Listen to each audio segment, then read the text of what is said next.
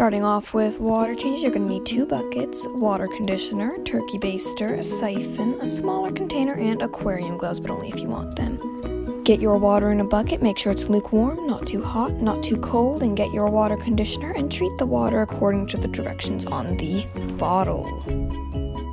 Next up, you're going to want to get your siphon and your other bucket ready. Unplug any aquarium appliances, put on your aquarium gloves, and put the large part of the siphon in the water. Put the smaller part of the siphon against your lips and suck it like a straw until the water almost, but not quite, touches your lips, and then you will quickly turn that part of the siphon down into your other bucket, and it will flow like so.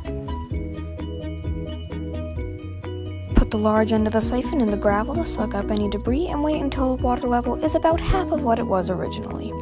Oh, and you should never forget to say hello to your cute little froggies. Next up, get your clean bucket of water and your smaller container, and since the frogs do not like the high flow, pour the water against the glass using the smaller container until the water level is back to normal. Suck up any extra debris that may be floating around with your turkey baster, and your water change is complete. Next up, you're going to need to test your water, which is very important in ensuring that your frogs have a clean and healthy environment to live in. But unfortunately, many people do not know that they need to do this.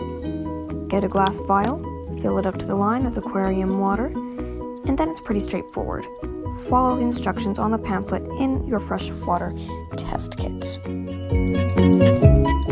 Hold up your vial to the colors on the back of your test kit to make sure you have the right amount of each chemical.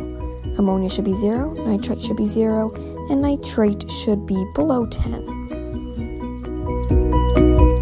And that is it for frog maintenance. I hope you enjoyed. I hope you found it informative. And check out the other parts of this series so you know how to care for your frogs. And that is it. Goodbye.